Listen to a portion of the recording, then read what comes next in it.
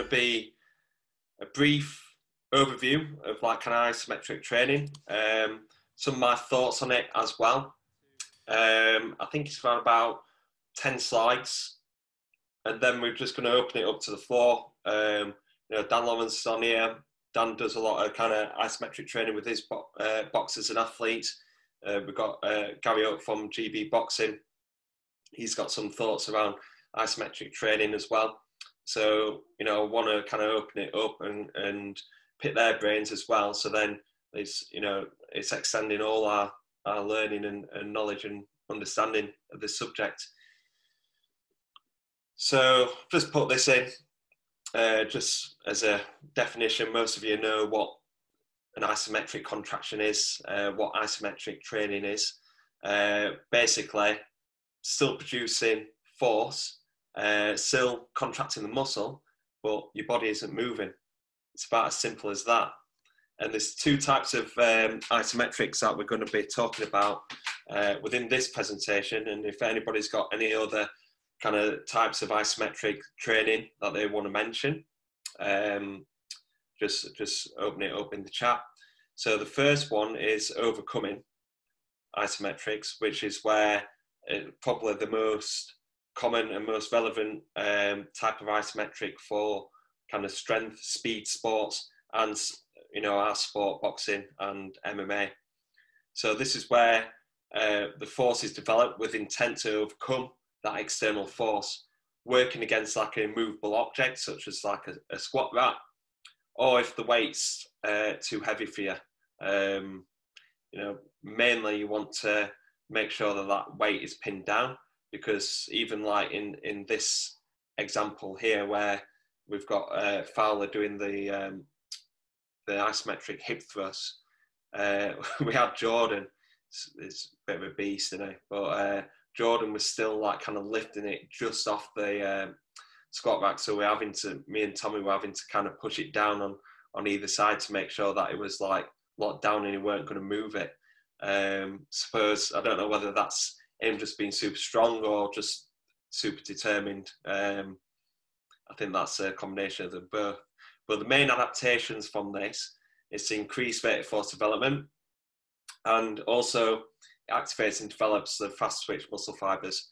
Uh, even though it's not a, a, fast and dynamic movement, we're still um, activating and developing them fast twitch muscle fibers.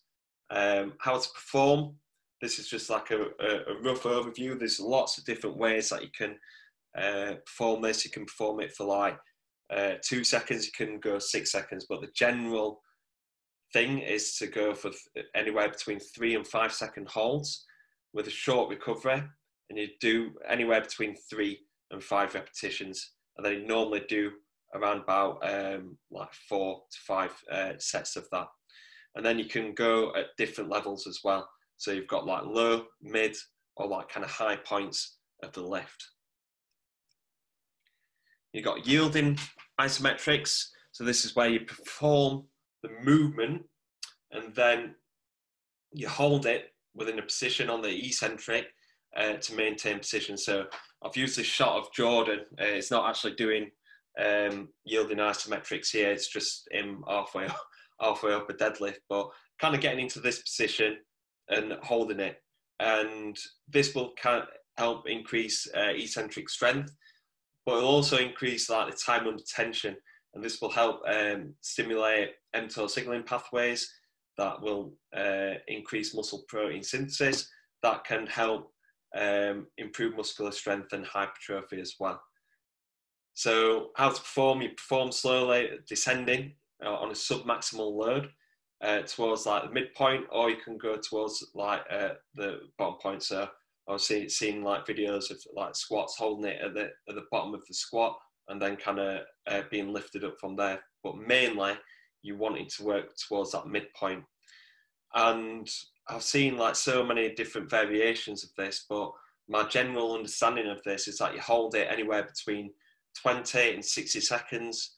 Some mad guys go for two minutes, uh, but also it can be done like kind of on a rep by rep basis. So like holding it for about um, like three three to five seconds on the way down holding it within that uh, midpoint, coming down and then lifting back up.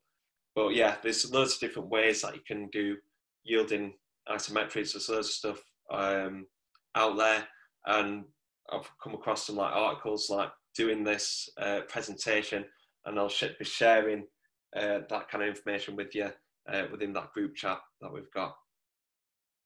So why can this uh, benefit boxing? We've gone through like let, let me just talk really looking at looking at these different types.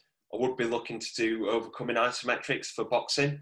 Um, so this is what I've kind of talked about on the on the like preceding slides um, of of the benefits, the limitations, and the practical recommendations as well.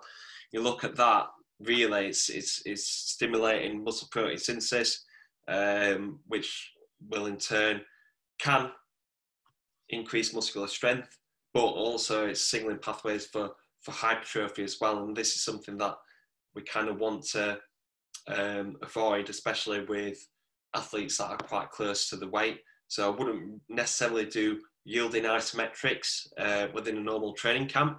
Um, however, if we're working with an athlete that is uh, injured or in off season or is looking to work up uh, the, the weight categories or looking to try and put on some muscle mass, this is a, a good kind of training method uh, to use because you're not only going to be increasing uh, muscle mass, but you're going to be doing it in the right way. You're going to be developing them fast twitch muscle fibers. You know, not just doing it, doing rep after rep after rep, going slow, grinding out the movement.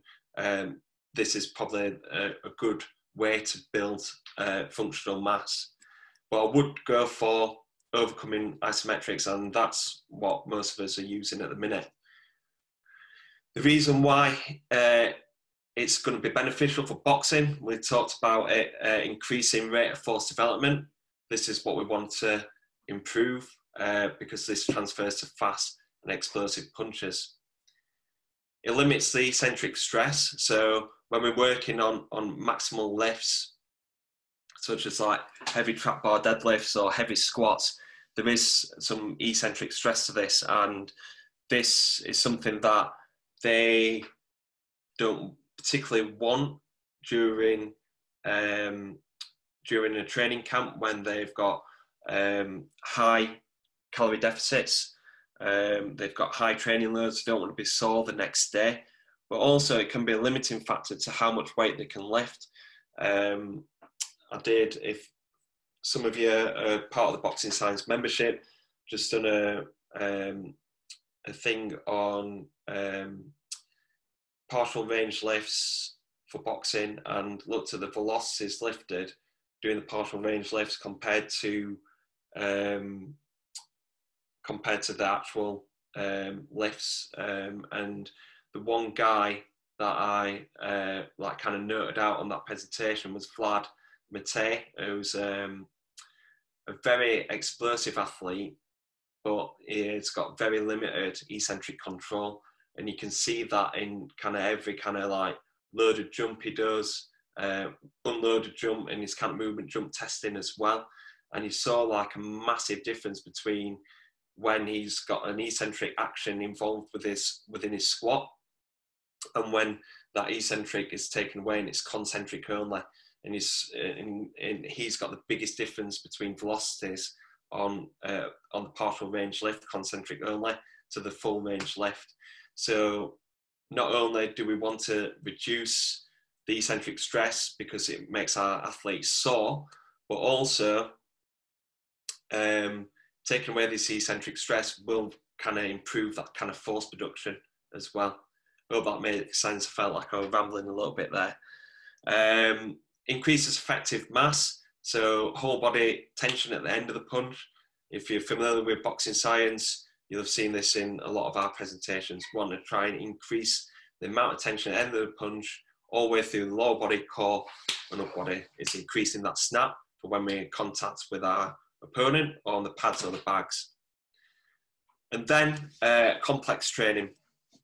So we can help increase uh, through doing isometrics, overcoming isometrics, can increase uh, muscle activation, which will uh, greater percentage of uh, regulatory uh, light chain phosphorylation.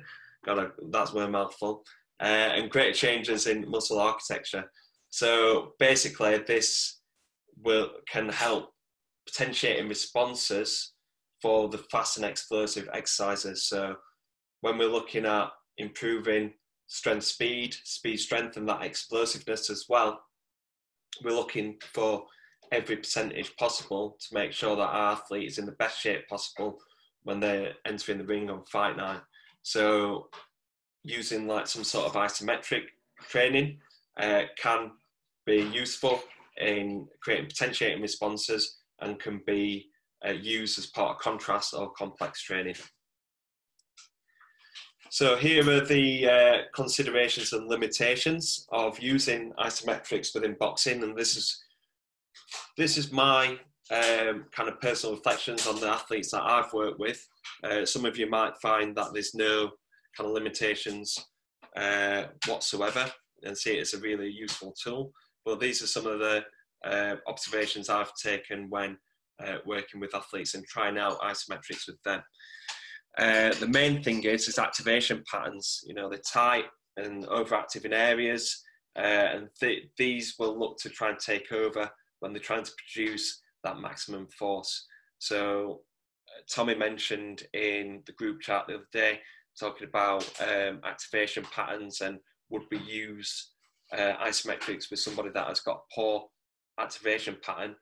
I know a lot of athletes that will look to use their lower back when they're like going through maximum lifts, and I wouldn't use um, isometrics with them. Um, mid thigh pulls, um, these are um, you know very well renowned within isometrics uh, and isometric training. However, what I've found is that they, they, they start feeling like a lot of muscle activation in their back. They also try and yank it with their arms a lot, and they can see like kind of them struggling with their with their posture. So yeah, so I'll talk a little bit about that in, in a few slides time. But yeah, that's what, what I've generally found is that the poor activation patterns um, has affected their ability to do this safely and effectively. Also, with that is the limited experience in maximum strength training. It, I always talk about kind of unlocking um, their kind of force production qualities through using different kind of exercises, such as using the partial range lifts, getting them used to uh, lifting a heavier load. More often than not, once I do like a, a super maximal block, when I return to max strength training, they're able to lift more from the floor just because we've kind of unlocked their kind of um, their force producing uh, potential. That's very bad science, but that's what I'm try, trying to get across. So, with them having limited experience in maximum strength training will limit their aware, awareness of like kind of producing maximum force, uh, using the right muscle groups, being able to drive through that floor as well. Um, so yeah, so they, this can only um, affect obviously the, the safety aspect, but optimizing that production. If we're wanting to increase rate of force development, we need to get them to push against that bar or pull the bar as fast and as hard as possible. And if they're not trained and able to do that, then you're kind of wasting that training time. And then uh, true max efforts. How do we know that we are getting that maximum effort out of them? When we've got limited feedback, how are maximum efforts achieved? Um, we are very fortunate at Sheffield University to have access to force plates, but it takes a lot of time to get them uh, set up, get them in place, getting the data, uh, analysing that data and giving the, the athletes the feedback as well. So not many times where we'll get the force plates out and we've actually got access to that. So a lot, lot of you that kind of listen to this will not have access to uh, force plates. So how can we determine whether uh, they're actually producing that maximum effort every single rep. So here are my kind of practical recommendations, thinking about them considerations. Um, first of all, carefully select your exercises. So I would go kind of like the midpoint. I won't go too low because of um, because of kind of mobility issues. I've been thinking about that length tension relationship. I would go mostly uh, at the midpoint. I'd also look to in, instead of like doing the straight bar, I like the trap bar variation of it, where we're working against the racks, just because we're sitting them shoulders in a better position, we're keeping that posture nice and strong. And then I prefer like doing like kind of the loaded hip thrust. I think uh, taking your arms out of the equation is, is important because like I said, they, they look to try and pull it and using that upper body. Whereas if we're looking to improve hip extension, hip extension forces, I think using the, the loaded uh, isometric hip thrust would be a preferred option. Also doing the, doing the squat as well, but what you've got to be mindful of there is the amount of loading going through the spine. Obviously, you've got to train uh, the athletes up to that and being it, making sure that they're competent at doing that. Like I said there, building the foundations, I'll look to try and increase maximum strength first through traditional training methods, doing heavy trap bar lifts, doing heavy squats and different variations of that, making sure they're doing partial range lifts as well. And then when we've kind of maxed out their uh, max strength, when they're strong enough, I would look to try and do some some things different. And then uh, if you've got get some sort of feedback or alter your use of it. So if you don't have access to platform, force platforms or weighing scales, so I'll, we'll, we'll talk to Tommy about uh, using weighing scales because I know that he's uh, been um, experimenting with, with different things. But if you use that weighing scales, you can see how much force that you put in uh, through the floor. If you haven't got access to them, then you won't be able to assess that maximum effort. So alter the use of them, and they can be used as great potentiation tools in warm-ups or using it as, as complex training or contrast training. Uh, these are some practical recommendations again, uh, making sure that cue activation patterns not only from the short term but long term as well. So you can see there, this is my favourite picture of me and Tommy, me prodding his backside. um, I've got a dodgy look on my face as well. um, but yeah, cute. So, so if you've seen this video um, or come come onto the workshop, um, basically what I'm doing there with Tommy is um, cueing that his glutes are ten- tensing and firing up first, and uh, making like what you see in that kind of clip, uh, in that full clip, is that Tommy will like kind of using his back hamstrings and then glutes. And most boxers and probably most athletes will will look to do that as well, just through kind of what their general training history is like. So making sure that you you know what kind of activation patterns your athletes uh, are doing, but also training that prior to going into uh, doing some maximal efforts, especially when you're working on hip extensions. Making sure you've got solid coaching cues. So um, using cues such as like drive through the floor or body like concrete or anything that you can use to make sure that they're producing maximum force. So say body like concrete is making sure that basically every single muscle group is tense all the way through that action. And then making sure that you're getting a proper warm up in place or periodize it. So you can't expect your athletes to produce maximum force straight away.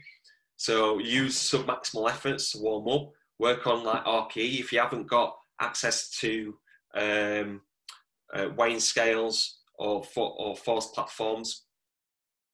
You've got um, you know RP rate of uh, perceived exertion. You want to be working six, seven, eight out of ten, nine out of ten, and then working towards your ten out of ten. And also periodize it as well. You know, if you're working on like um, if you're wanting somebody to improve their one rep max, you'd periodize them for a number of weeks working towards that, working 90, 92, 95% one rep max, and then hitting the one one RM. You wouldn't get them working on like 70% 8% one rep max and then suddenly expected to have a massive jump. So they shouldn't apply within your max uh, in, into um, doing isometrics as well. So you want to kind of use it in a few weeks if you're looking for that kind of them um, uh, max strength and increased rate force development adaptations. Work it for a couple of weeks before, where you're working eight out of ten. Use it as a warm up tool. Get them used to doing it, and then actually make it a key part of their program. So using it as assistance. So we mainly talked about um, isometrics in terms of like trap bar deadlifts, loaded squats. Um, you know, we can do bench bench press as well, but working on them key lifts. But it also can be good for assistance exercises. And these are the reason, these are the uh, methods that we use at Boxing Science. So we use like core holds, and they, these aren't demonstrated on the pictures, but we either do that to potentiate or strengthen. So we use like manual or wall holds um, to, to help strengthen or fire up the core prior to heavy loaded compound lifts or explosive exercises. So we'll do like kind of manual uh, pull off holds where we push in against them uh, either side on, or we do it like kind of pushing down or pushing up. And this can get their core fired up when they're doing heavy loaded exercises. I mainly do this when they're doing uh, partial range lifts because I want them to make, make sure that their core is, is, is fired up, switched on, ready to contract to make sure that basically uh, making that exercise uh, safer and more effective.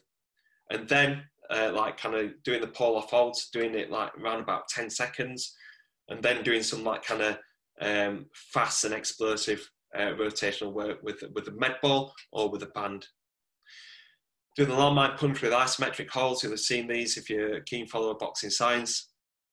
This will encourage uh, maximal tension at the end range of punching, increasing effective mass. So do between three and five repetitions, uh, three to four sets of this. See Alan is, is probably doing his one rep max, trying to keep that bar down because I've punched so hard.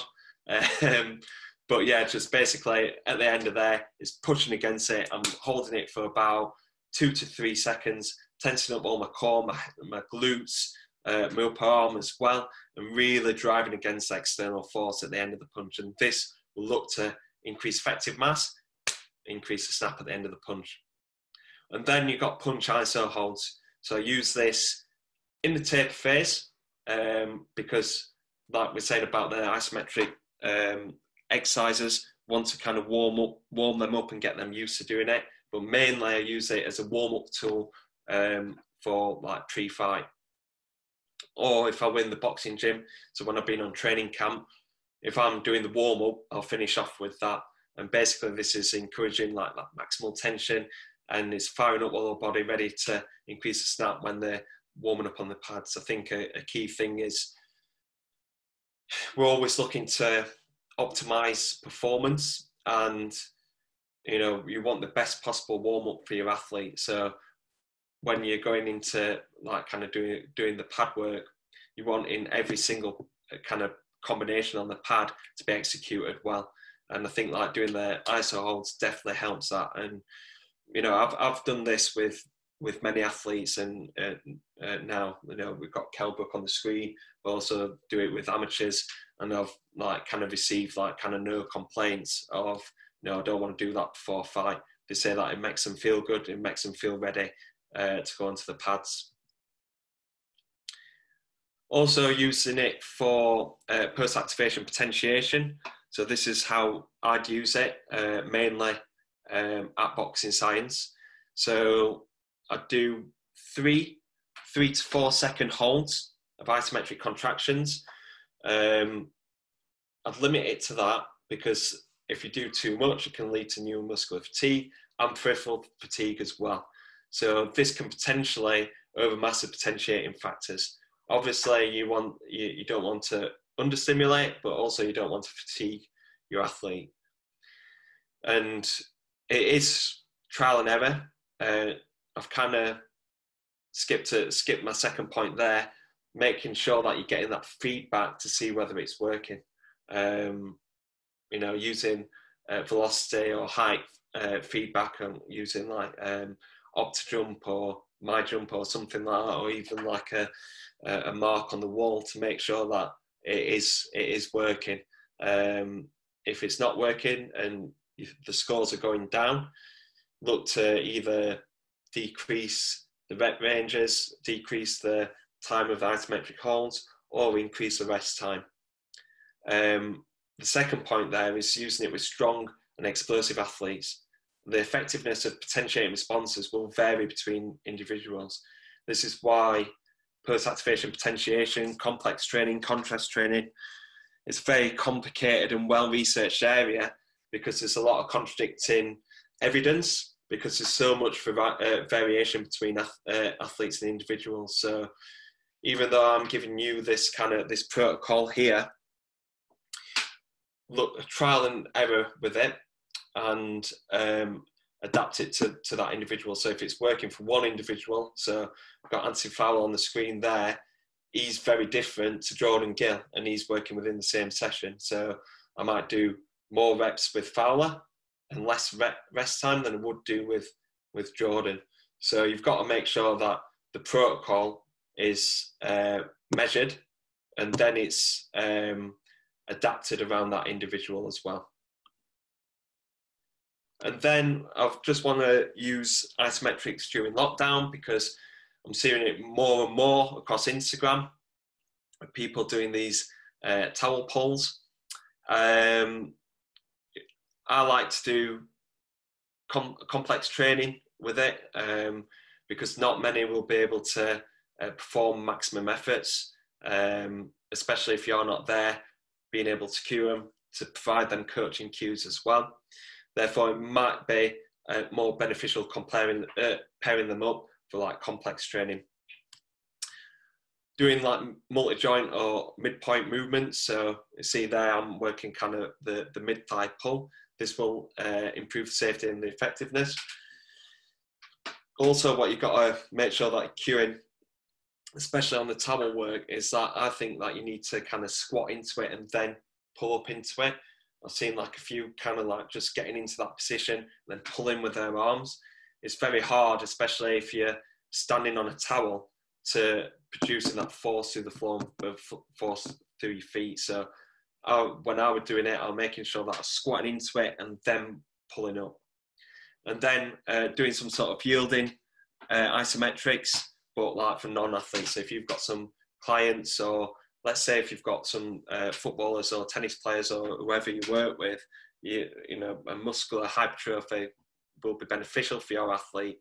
Um, you know, you can use yielding isometrics, but don't be looking to implement too many exercises that can help stimulate um, hypertrophy, especially if you're working with boxers, because like Lee said the other um, last week, is that these athletes are have got good genetic qualities and they're not used to being like kind of in this positive energy balance um, not used to like these this decreased training load. If you suddenly start doing a load of weights and a load of repetitions and high volume high mechanical tension they're, good, they're going to be bound to put on uh, some muscle. So i did a, a post about it yesterday. Some of you will have seen that so you've got to be mindful of kind of the exercises that you're putting in there, uh, making sure that you're avoiding muscular hypertrophy. And then that is the end of uh, the presentation. I'm doing some shameless advertising here, but we are doing a free trial on the Boxing Science membership. There's no contract. You can cancel at any time. But if this has been beneficial for you, we've got, uh, I think we've done three presentations on the advanced strength series where I talk about like these different training methods. So uh, partial range lifts, um, accommodating resistance. What else I've done? Not sure. I think I've done. Con- I think I've done contrast training. I'm not sure. Anyway, there's three. There's three presentations on there, um, which you can access. So you've got it's around about 40 minutes.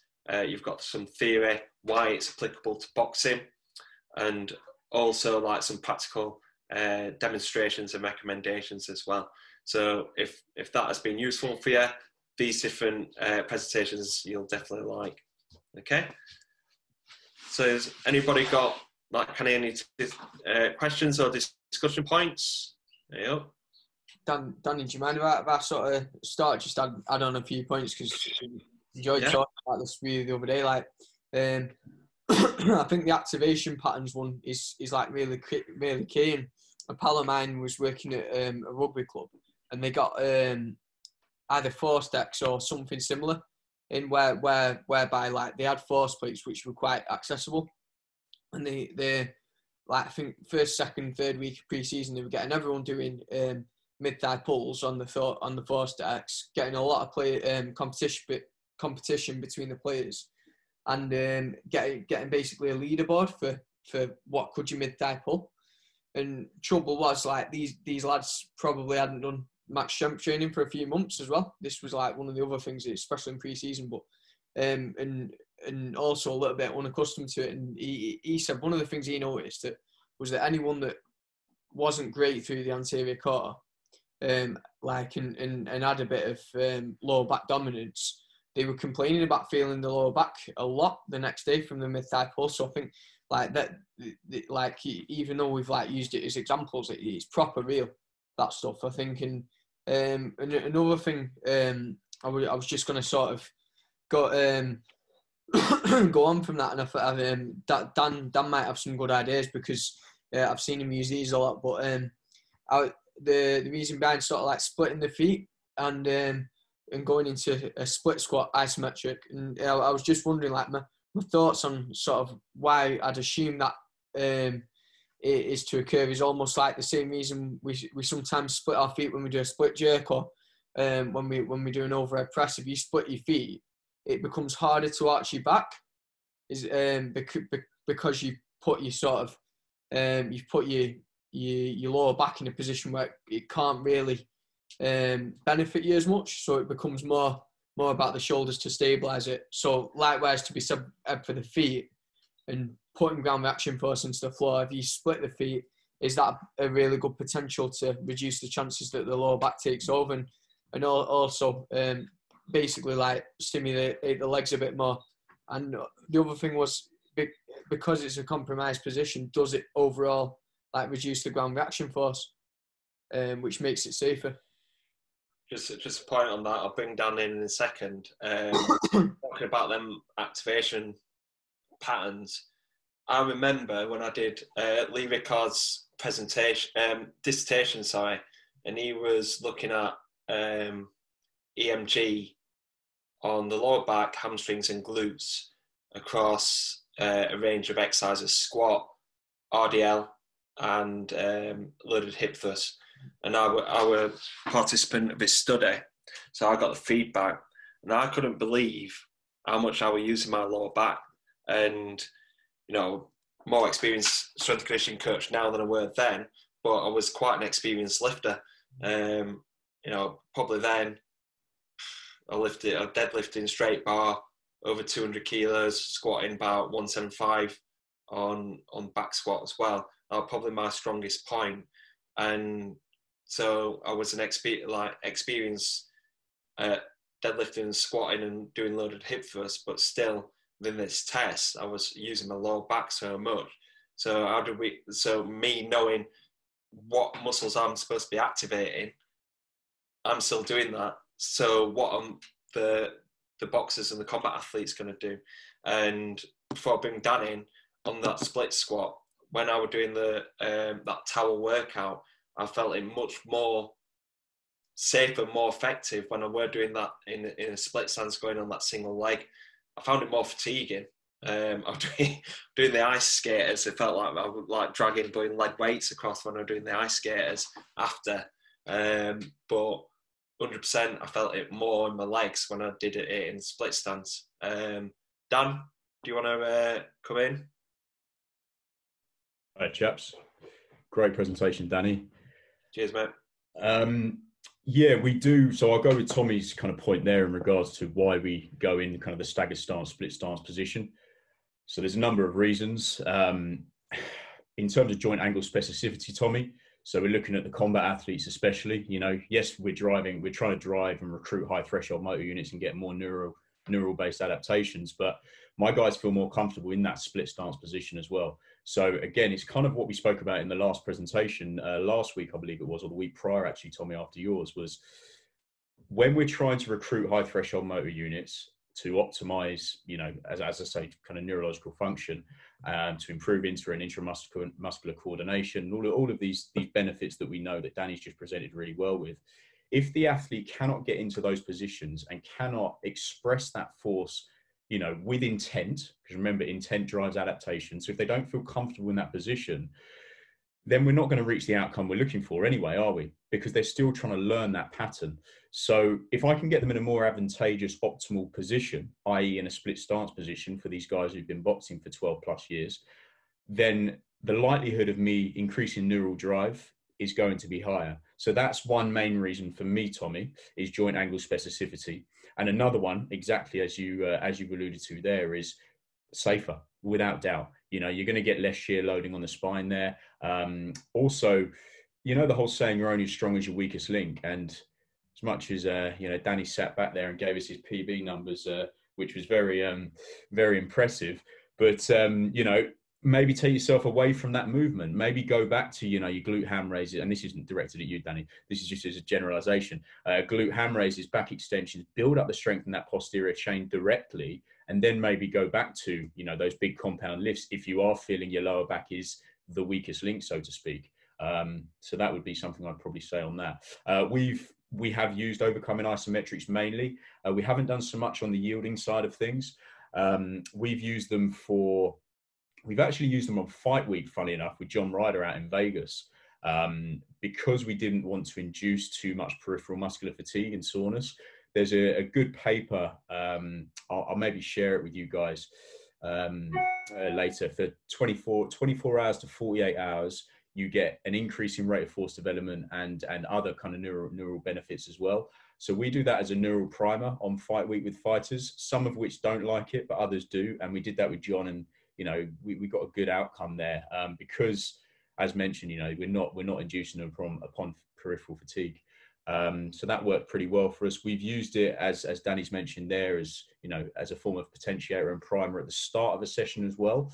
Um, so we've definitely used it as part of the complex contrast methods, but we've also used it as, for example, if an A1 in our in our routine might be a trap bar deadlift from the block, you know, heavy. Um, so we then might do prior to that for probably two sets uh, and overcoming ISO in the pin position to replicate joint angle specificity and angle of the main lift, so to speak.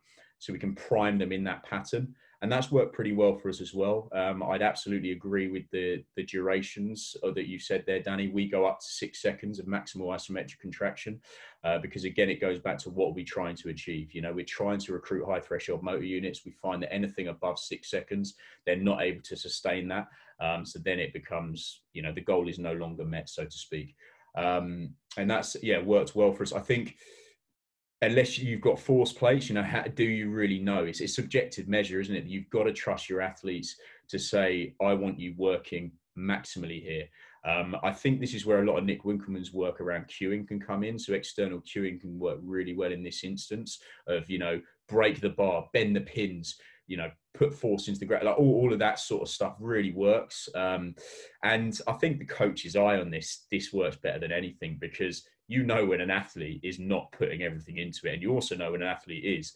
I'll try and um, I'll try and dig out some videos. I've posted quite a bit on this um, around ISOs. I'll do a little post later, and you can have a little look at for for a laugh between us. Is have a look at the athletes and how how much they're expressing and the intent that they're using on the uh, exercises because they really are all in on it. You know, um, so yeah, it's worked pretty well for us. I think stimulate not annihilate would be another one. We don't want the accumulation of fatigue because again, the go the goal is no longer met um, yeah, hope that helps. And on on that, um, one of the things that I think I messaged you about this the other month, but um, uh, like we, we, were just before we went on lockdown. I had a, I had a good play about with this with uh, one of my pals, but um, set up a trap bar um, against pins about mid thigh um, in a split stance position, and put my um, and put my front foot on a set of weighing scales and then pushing down to, into that as hard as I possibly could. I think the intent behind it, like like you said, the, the intent driving adaptation, I think it's massive. And I think that if you've not got knowledge of results in, in something like this, I think you're really limiting the outcome.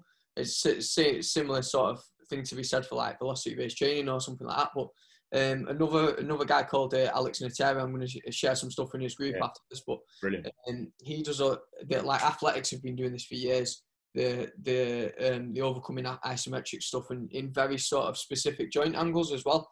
And one of the things he does to create intent um, when he's working with athletics. So, but bear, bearing in mind these are people like very very highly trained people. They've been expressing a lot of force and they're, they're very highly trained in the weight room as well. So, but he he will get um, for example in a um, so stood on one leg in a sprinter stance position with the knee slightly flexed. So that's um, a knee dominant um, a knee dominant position. He'll set up a barbell. Um, it, so if he, if he hasn't got force plates, he'll set up a barbell um, against pins. And he'll keep loading up the barbell until they can no longer move it. Um, and it, they want a threshold where they can just about move the barbell, and then they know they're getting the intensity. So, so let's say that athlete can move 280, but as soon as you put 300 on, um, they can't move it, the weight that they're going to put on the bar is 300, and the, the bar might move a tiny bit.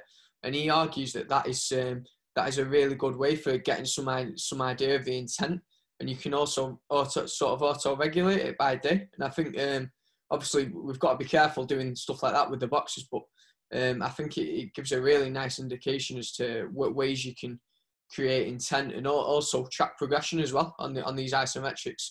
Um, and, and, and, in that, that sense, um, the, the intent being the key driver, I think if, you, if you're doing these without some sort of intent, then you, you are we limiting the effectiveness of them? Yeah, I think great point, Tommy. I think they call that a quasi a quasi isometric as well. So it has an element of an eccentric phase. Uh, it's not a true overcoming ISO where you're trying to break break the pins. There is an element of movement there. Um, but yeah, you're completely right with intent. I think we can take so much from the athletic world. I think Alex Natera, funny enough, came up in a presentation uh, we did this morning as well, which was which was awesome. He does some great stuff over there in Australia, I believe. Um, also, we did some work with Marvin and Jonas as well at Speedworks, and they do a load of this stuff um, in regards to joint angle specificity. I think what we need to remember, let's bring it back around to boxing, is you've alluded to it there really well, Tom, is these guys have a very high training age. Okay, so it doesn't now mean that we all dive in and do a load of isometrics with our guys. We need to, we'll get, you know, we've spoken about lowest hanging fruits. We'll get some really good re- results from doing pretty basic work with some of our guys. Obviously, the guys with the kind of moderate to higher training age, we need to be a little bit more intricate in terms of what we're, you know, what we're we're trying to achieve and what we're exposing these athletes to. Um, yeah. I'm um, I'm going to bring in Gary Hutt.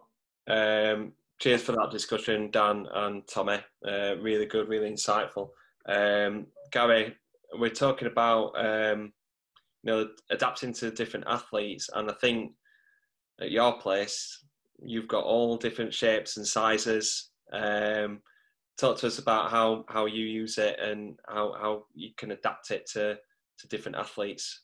Yeah, well, firstly, like thanks for that presentation, Dan, because it was quality, and then thanks for the the chat off the back of it as well, there, boys. It was uh, it was really interesting just to hear your takes on how you're uh, implementing this type of stuff into programming.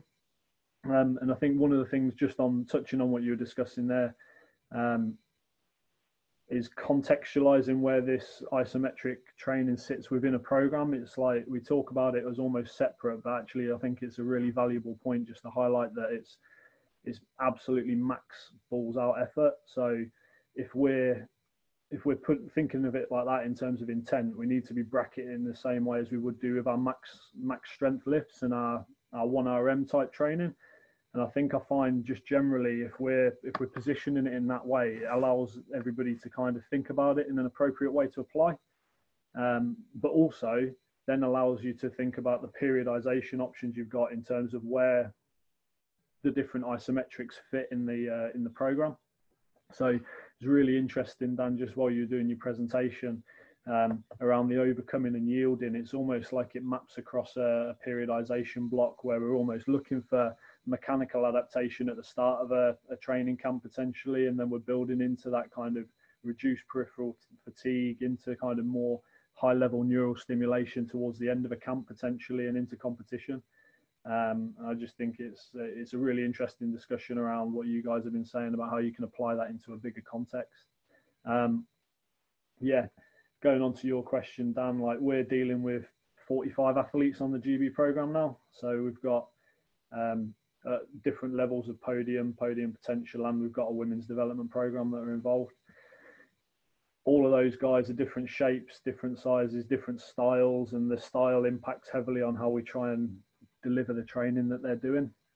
Uh, but we're also fortunate that we have got force plates thrown into the floor in, in one of the, the, the platforms in the gym, so we can jump on them within two seconds and get all of this information at the touch of a touch of a button.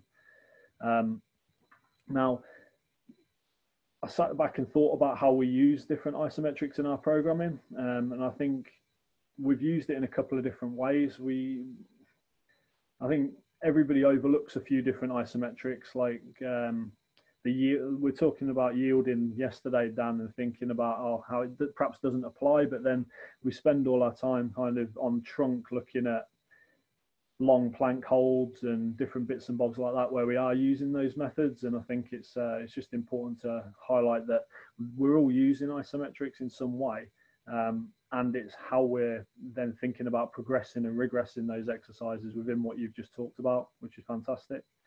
Um, i think the other piece here is like one of the areas that we really like to try and use isometrics is for that uh, taper period. And i know uh, if we're looking at that potentiation and the research that's been done around that and the understanding that we have that well if we can get somebody to max lift or lift very close to their threshold close to their fight date then we're likely to have an increase in force output during the fight um, but the barriers that you have to try and achieve get a boxer to do a, a 1 rm rm max lift on the day of their fight compared to doing an isometric hold in prep for their fight are two different, completely different battles.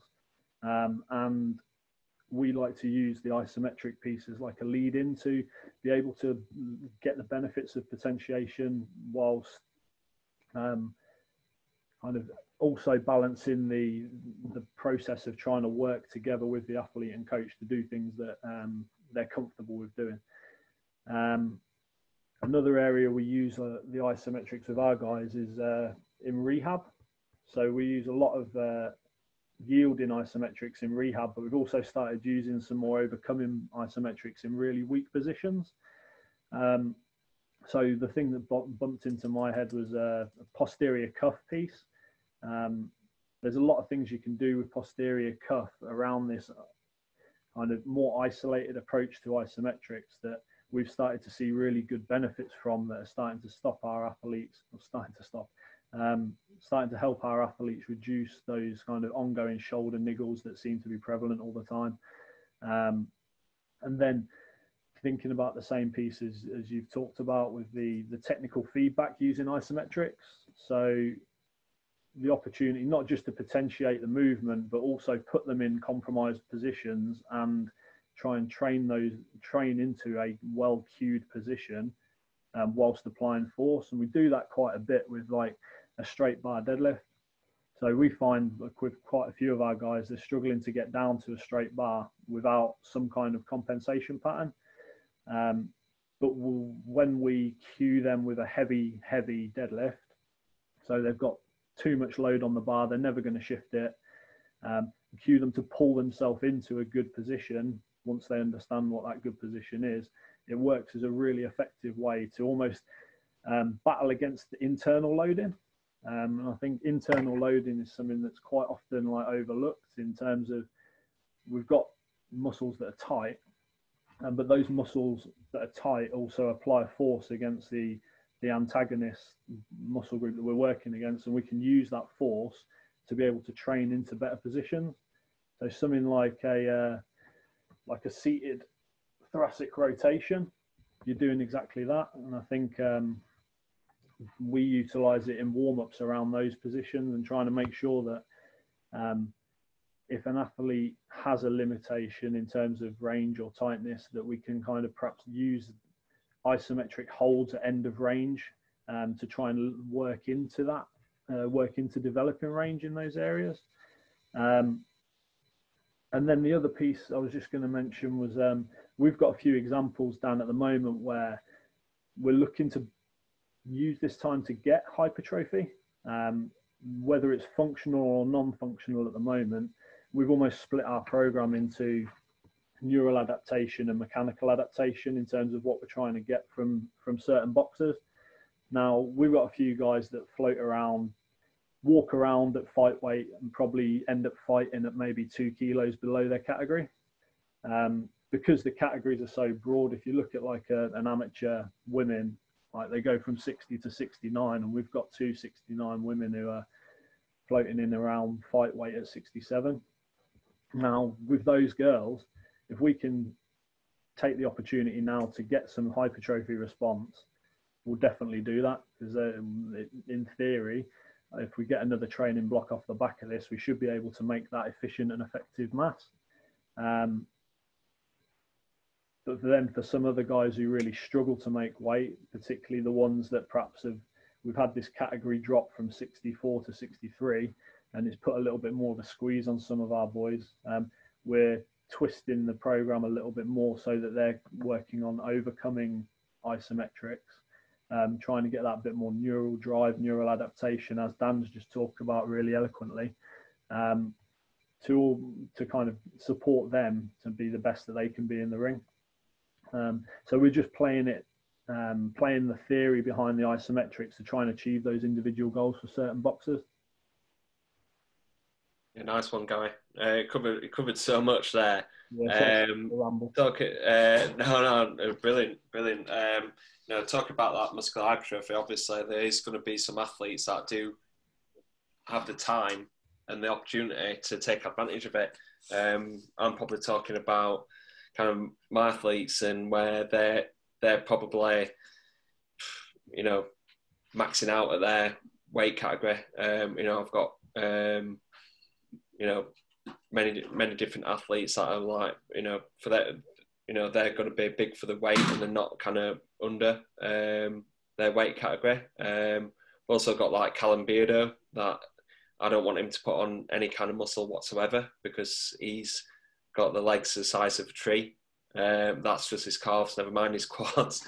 So, so you know, I'm I'm I'm like kind of talking from that aspect, but I can definitely agree with you. Um, you know, you'll have so many different athletes that will be so close to the weight where putting on extra kilo or something like that uh, in muscle mass will be uh, beneficial to them.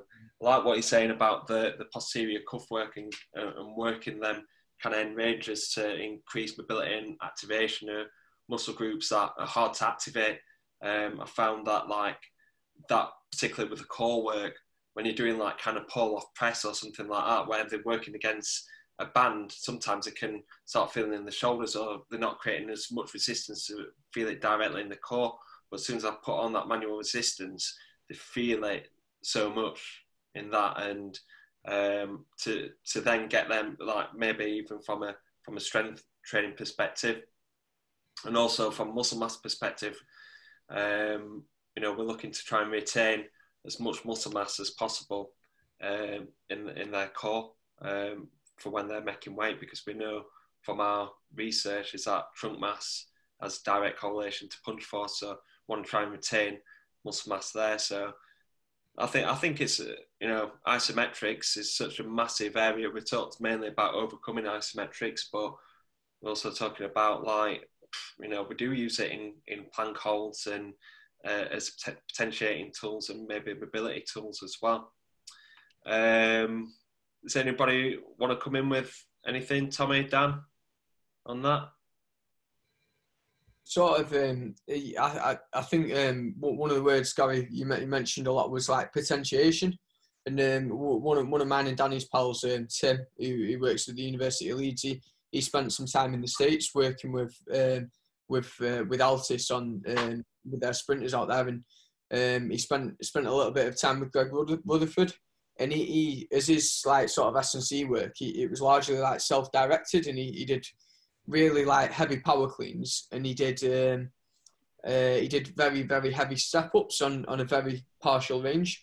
and with like 250, like 260 kilos, so like more weight than than what he could handle in his in the standard step up. So, sort of like similar to isometrics in the sense that it was, it was over the concentric force he could produce. And um, T- Tim asked him like, why why do you do so much of this? And he said he said like, um, I don't think this has any direct um, transfer to making me um, to making me jump further.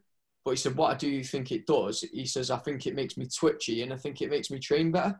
And then when I train better, that has the potential to make me jump, make me jump further. And I think on this, if you if you can make someone feel good and uh, like people like doing this stuff, the isometrics like it makes you feel good, it makes you feel solid. Um, you're getting a lot of neural drive, you're getting a lot of potentiation, and, and especially around competition, like like what, what Danny was saying in the in, in the warm ups and stuff like that if you're doing this stuff and making people feel good, then it's, it's probably probably going to have a lot of benefits that aren't, aren't necessarily physiological as well. Yeah, hundred percent, Tommy. Um, you know, Kieran's asked a question here.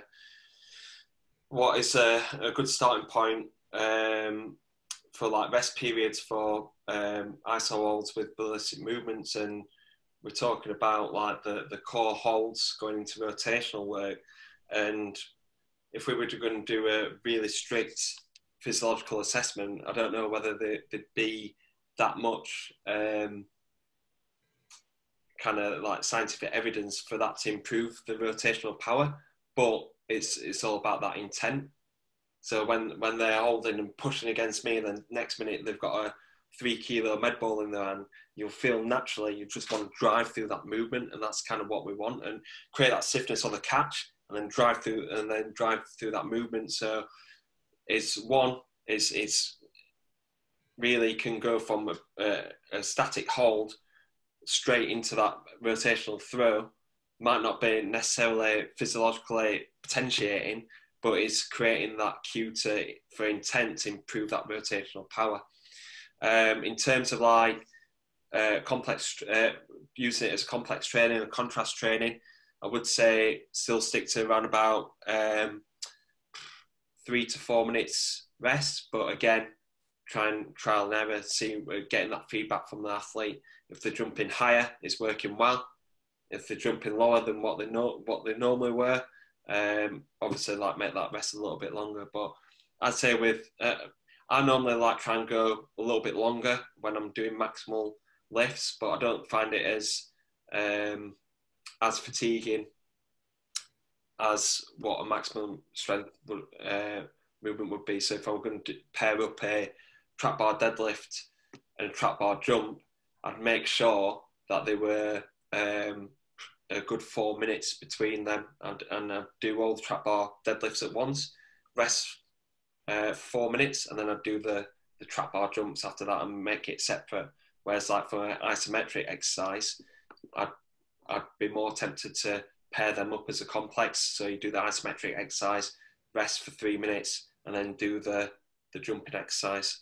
And then when I've been doing the, the towel uh, lifts, I've been doing like one to two minutes because I know that I'm not going to be uh, performing maximal force production um, as much as I would do if I were in the gym.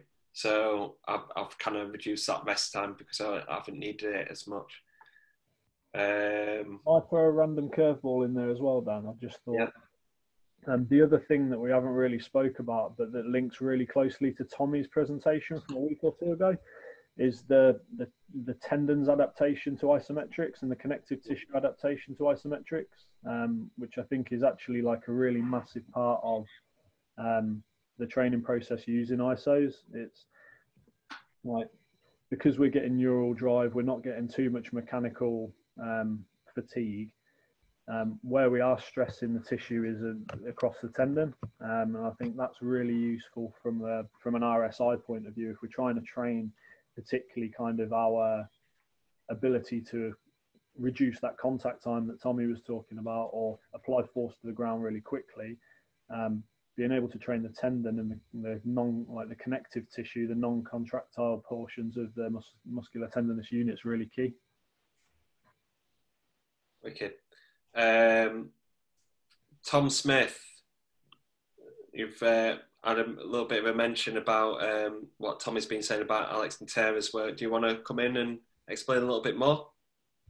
Yeah, sure. Um, I, I watched his presentation on the um, on the Strength Coach network, the uh, Alex Natera's one, which is really really good. But one of the things that he does talk about is sort of hidden asymmetries that the isometrics will isometric exercises and testing will show. So a counter movement jump or, or a traditional sort of back squat might not show those, but when it came into sort of isometric mid-thigh pull tests and his calf isometrics and knee dominant isometrics, quite large asymmetry side to side. So and that's kind of his rationale for them all being single leg exercises is that, that we can, you know, the, you know, almost take that out of it, which was good. And he talks quite heavily, like Gary was saying as well, about the tendon adaptations, which is another really key um, you know, uh, reason behind using them, I think. Um, just on the topic of it, how I've kind of programmed them over this time with some of my more advanced athletes is, is trying to give them that strength stimulus through isometrics, um, especially if they lift heavy weights already. Quite hard to replicate that without obviously having access to them. So that's kind of how I've looked to program them within this time. That's cool. Tom, yeah. we had a decent chat on Friday with some points that could link to that. To be fair, like with what you were saying about the um, the pogos and when we spoke about the like the unilateral stuff. Yeah, um, the, I, I think um, a lot of the the unilateral, um, so, some of the unilateral research, like I've I've not looked into it as much as I'd like, but um, sort of um, saying that the sort of magni- the magnitude and direction of um, of the the fluctuations between left and right can be very very different. So, for example, if you're looking like a, a triple hop, like day to day, someone might do really well on the left foot, and then another day they might do really well on the, the right foot. But um, one of the things it's I think it's been found to be a lot more consistent in is the is the isometrics, and the sort of like rationale behind that is that it's less sort of skill based. Um, there's like less coordination required to just pushing push into something as hard as you can on your left leg and your right leg. But um, something like single leg pogos, if you're if you're looking at that, um, so doing ten pogos on your left leg and looking at the RSI and then doing ten on your right, you might you might find it like um, the the magnitude and direction of the of the different um, of the different asymmetries varies a lot from day to day. But um, one of my pals, Matt, um, he, he he's looked looked quite a lot into asymmetries, and he, he I, I, w- I was worried about a player that I was working with because they had quite a big difference between the left and right on a Nordic hamstring, and he said, "Look, I wouldn't worry about it too much because um, it the the magnitude varies from day to day. There there is probably an imbalance, but he said also if both sides are strong, then you probably don't need to worry about an imbalance too much, which was quite interesting. So I suppose in the context of that, if someone was strong on both sides bilaterally, would it be too much of a problem if they were um, if they were imbalanced between left and right? Which yeah, I don't know. I don't know. Like um, I've, I've. I've not clue really, but um, Chris Bishop's the one to look for on that. He's got some good research. He's done his PhD yeah, on that. That's it, it? He, um, I think the end findings were even with noticeable asymmetries, it didn't actually affect outcomes, if that makes any yeah, sense. But, but have a have a little look. And in regards to your guy, maybe at home doing some form of accentuated eccentric or single leg hamstring curl might be a way a way to program that guy if he does have a noticeable asymmetry between limbs. Yeah, yeah definitely. What's your how many, how many friends have you got, Tommy? You've, you've got loads. They're all, have me. I've, I've nicked I've nicked your pals. It's like, it's like since when have you had other friends beside us? well, um, Dan Jefferson has asked about uh, triphasic training. What are people's thoughts on it? Um, obviously, you know this is this is going around. Um, I haven't really worked with it. I don't know whether anybody else has. Dan, Gary, have you worked with triphasic training? Not in the way that it's defined in that question, really. Um, I mean, it, it's to my understanding, it's just another approach to block periodization, isn't it? Yeah, you do two weeks eccentric, two weeks isometric, two weeks concentric, mm. and then you go into your training block. With some of our guys at the moment, we're doing like a three week uh, isometric, three week like, well, let me use the terms from before, like a three week neural phase and a three week um, mechanical phase. So we're going like isometrics for a couple of weeks and then flipping it to as many reps as possible um, in sets. And so I can answer that in about six weeks' time when we've gone through that block and we see how it works. Yeah. I haven't really experimented uh, with it myself. I kind of like to stick to that, try trying to keep it basic really because it's worked. Block periodization has worked for for many years and it's worked with myself. So um, worked with my athletes as well. So like kind of working working on max strength, strength speed, working through to, towards taper, and then working different variations of that as well. Uh, Dan, have you got uh, any kind of thoughts or comments? Again, I think it goes back to the specific athlete's training age and what type of stimulus and stressor we can expose them to. Obviously, Cal Dietz is the main dude in regards to triphasic training um, out in the US, and I'd say his athletes have a pretty, a pretty high training age, so he's having to, you know, think outside the box, so to speak, to elicit positive adaptations. Um, I think if we go through an extended eccentric block with our boxers, I'm sure, well, I think Gary and, and yourself may agree with the with the guys you work with. You know, like that eccentric muscle damage when in camp, when sparring, especially for Gary's guys with the amateur. You know, the quick turnaround in fights. If they're sore, they're they're never going to want to talk to you again, let alone strength train again. So I think we just need to be kind of smart with that. Um, I think now's a good time actually. You know, Tommy's just expressed you know Nordics there. Um, even with the footballers, a, a, small amount of footballers I may work with, um, you know, doing them in season is pretty hard. You know, we microdose them at the best of times just to kind of top it up because again, we don't want them sore and we need to program the, you know, I'd call Nordic, um, obviously it's an eccentric, but it's kind of a quasi isometric if they've got sufficient strength to control through that range as well.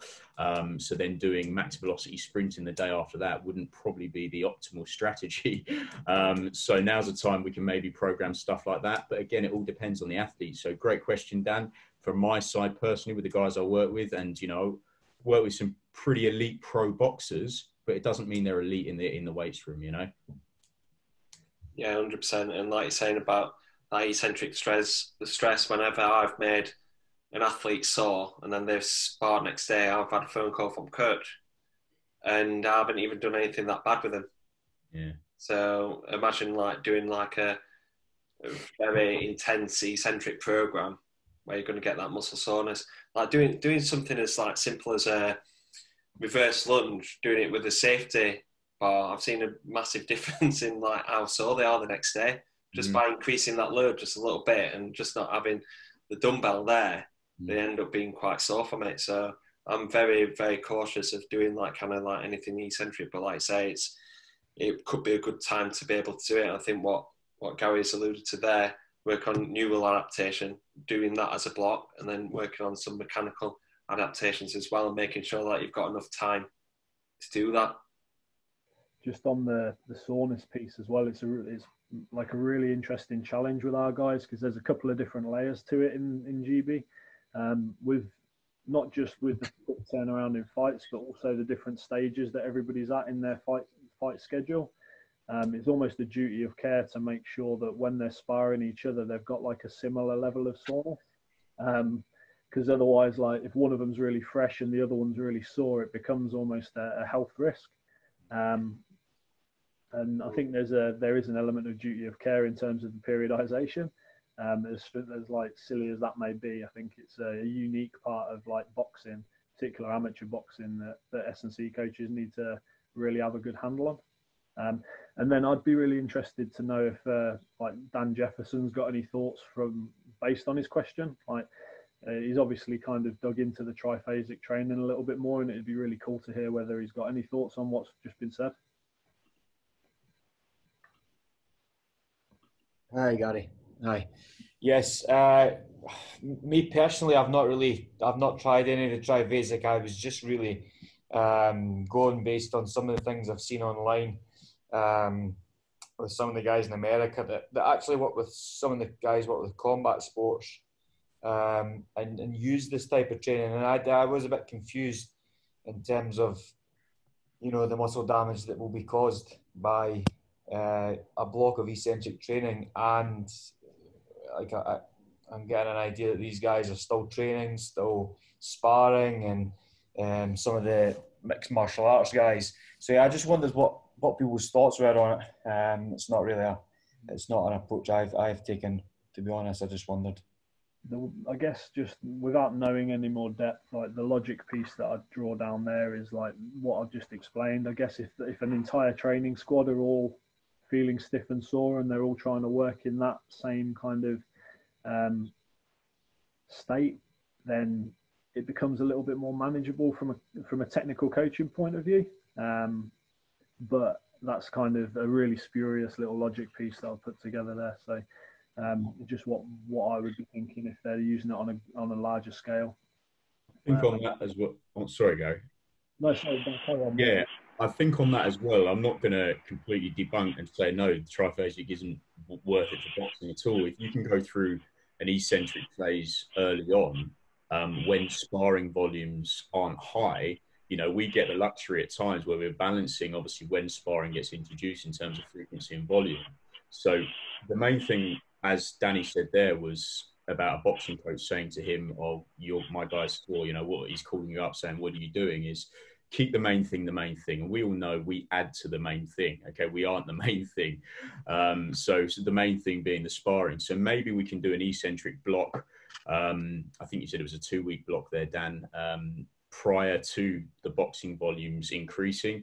But again, it's not something that I personally played around with. You know, we do use eccentric work, but we don't solely go through eccentric work because honestly, knowing the boxers, knowing the fighters, they just won't want to come back. Yeah, I think uh, just um, what Dan just said at the end, then like knowing the boxers that they they're not going to want to come back. I think that's like really key. I think if you put it in and trial it at the wrong time, and then your your fighter ends up being sore in sparring and not being able to perform to the best of his ability, you're almost going to lose the trust a little bit. And I think once you've lost that trust with your athlete, it's very very hard to, to get it back, and your whole program is kind of a little bit thrown out the window. Um, so I would say I personally used it training for a fight once, halfway through camp. I just wanted to see what it was like, and it was terrible. I couldn't do any of my runs, couldn't spar properly. So personally, I wouldn't use it. If I was going to use it, I would do it um, sort of what you, I guess you would call it like the off season in between camps if they're ticking over. Maybe then is a good time to uh, put it in, just because obviously they're not going to be sparring. Boxing sessions are down a little bit. It's more technical as well, so that would probably be the best time um, to use it. But having experienced it personally, I, I, definitely wouldn't do it during the sort of main 10, 10 weeks of camp. Reese, I'll touch on that as well. From your experience with your guys, is adherence to the program when you say maybe potentially making that intervention out of camp. I'm telling you now, none of my guys are going to be doing eccentric work by themselves, bud. no, most definitely not. Like even from personal experience, when when you program it for yourself and you're like, right, I'm going to do a three second eccentric. Four reps in, you're thinking, now I'll just do two seconds, now I'll just do one second. You know what, I'm just going to do normal reps now. So, yeah, you're completely right. It's something that they may say if you do give it to them out of camp, um, but it's definitely something you're going to have to be there for solid proof, I think. Just, uh, yeah, just from drawing on experience outside of like boxing for um, one of our squash athletes that we work with at the EIS. Um, we put him through, and he's a diligent guy, really well trained. Um, and he's the type of mentality that's kind of the flip reverse of what we've just discussed. Whereas if he's feeling sore, he loves it and he'll go for it. Um, and uh, for any of you guys that have worked with any squash athletes in the past, like squash, they're absolutely lower body beasts. Um, now this guy was like worked through a four week block of eccentric only. Tra- we did three sessions a week of eccentric training, um, and that's his only like strength stimulus. Um, now he, yeah, he felt crap through it. He got a bit. He got a lot of his court work done anyway, but wasn't feeling snappy. wasn't feeling sharp, as you'd expect. But um, off the back of that block, then felt like a whole different man right, and felt like he took a, a whole different level um, up. So it's one of those where if you can get the buy-in, if you can periodize it effectively, and you can work together with the entire team to be able to justify its place, um, it could be a way to be able to like get a really strong physical benefit in a very short time. Um, but it's like whether whether the juice is worth the squeeze in the end. So yeah, yeah, everything has everything has a place, and then you've got to think about what reward you get from it. Um, big thing that I always say is that strength training is probably a lowly fifth on the list. I don't, I've, I've said it. I've, I've actually gone through it quite a few times, but I forgot where it actually does place in list of priorities. If you think about uh, a boxer's preparation, the the first one is probably sparring. Second one's making weight.